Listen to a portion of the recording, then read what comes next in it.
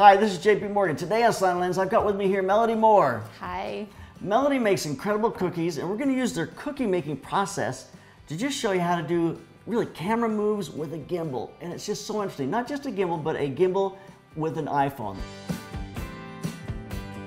This is the new Smooth Q2 gimbal. It's a great little gimbal. It's pocket size, it's very light. It gives you 16 hours of battery life, which means you can use this thing all day, which means literally it's gonna last like four times than your iPhone does. So incredible battery power. It's made of aluminum alloy, so it's very strong. I've actually dropped it once, which was not a good thing, but I did it and it's uh, working just fine. It also, it's a quick release clip here, so you can take this on and off very quickly. It also gives you the ability if you wanna go to vertical, if you want that kind of portrait versus landscape. So you have that option to change back and forth, which makes it very easy to switch if you want to do that uh, mid, mid shot or use it either way, vertical or horizontal. And using Bluetooth, it connects my phone to the gimbal so I can hit record and kind of run my phone from the gimbal, which makes it very easy. In my hand, record, stop, and I can use it to make my moves.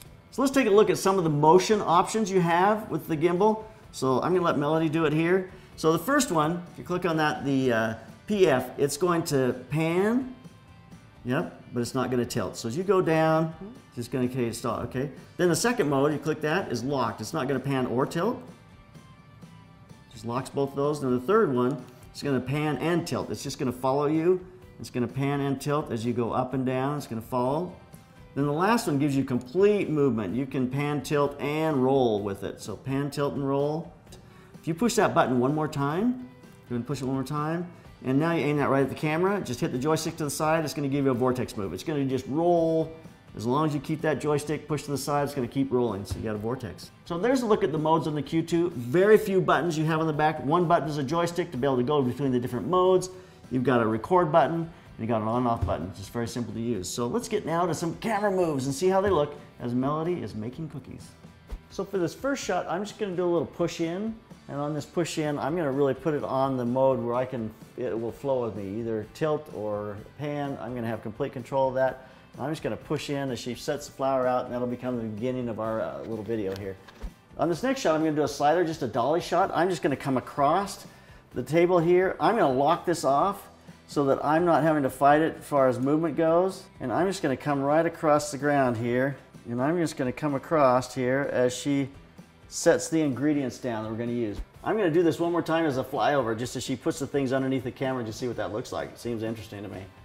We're now gonna do a parallax move. And what that is, is I'm gonna let the camera just kind of move around the bowl and keeping the bowl centered. That's what the parallax is. But I'm going to make a move around the bowl for each ingredient. So we'll make a move for the eggs, then we'll go back and make a move for the butter, then we'll make a move for the sugar. And then we'll cut those all together so as the camera moves around the bowl, It'll go butter, egg, sugar, and as it goes around the bowl, each ingredient drops in. As you cut those five or six shots together as one parallax move, and all the ingredients randomly cut to cut to mixing. I'm now going to do a vortex shot from overhead. It's going to spin as she mixes the opposite way, and it's just going to be an interesting look. So here we go. I'm going to do a little kind of gradual pull-out shot as she starts to mix here, because we just went from this vortex mixing to flour dropping in to another vortex mixing a little much, so you do a little gradual pull out, then we go back to a vortex mixing. It's all gonna be crazy, no doubt about it. So I'm now gonna do a little push in shot as she rolls the rolling pin. I'm gonna try to push in as she rolls the rolling pin towards me. So just be this nice little movement of opposing action, pushing together, and just get that quick shot. I just did a quick flyover as she's rolling the dough out. It's just fun because I love this thing. And we got it going on a lot of these shots where I'm opposing the action. As she's rolling towards me, I'm pushing across the rolling pin. So you just see the pin coming rolling underneath the camera as I push across it. So that flyover is just fun. Just get overhead, and looking straight down exactly what she's doing. It's just an interesting way, interesting way to introduce the action to see it kind of unfold. So in this shot, I'm gonna start in a, out here and as I come across, I'm going to pan and I'm going to pivot. So it's a combination of a pan and then a slide to be able to open up to be able to see more area. So it's a nice little shot. I did a flyover of the cookie sheet just an interesting way to introduce the next step that she's putting cookies on the sheet that are about to go in the oven. But I feel as I'm moving across it, it just looks very interesting as she drops things on. It adds motion and interest to the shot as she places the cookies on the sheet. So we're finishing up the piece now. I'm gonna do a variety of shots. I'm gonna be in tight, I'm gonna be back in a more of a broad shot, just a bunch so we can go cut, cut, cut. We get them all iced. Here's a plate of cookies, we're done. For this last shot, I'm just gonna push in a final, uh, here's her with the cookies, final shot, Let us sit there for a couple of seconds, and that'll be the end of our video. So it's nighttime, as you can see. We've been shooting for a long time to get through our shots, but cookies are made, shots are done. We're gonna cut this into a nice little piece. Let's take a look at it right now.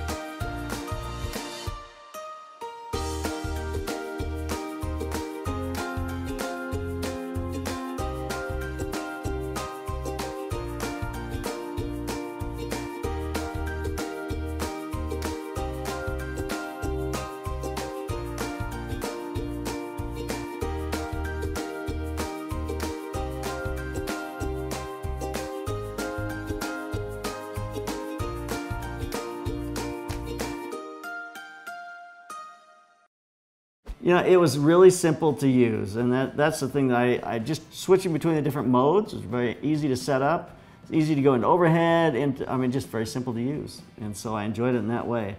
And small, I you know would absolutely carry this if you're traveling or something. It's a great device to carry with you when you're going to go on location or a vacation, whatever that may be. So excellent device to use in that way. So it's a winner. So keep those cameras rolling, keep on clicking.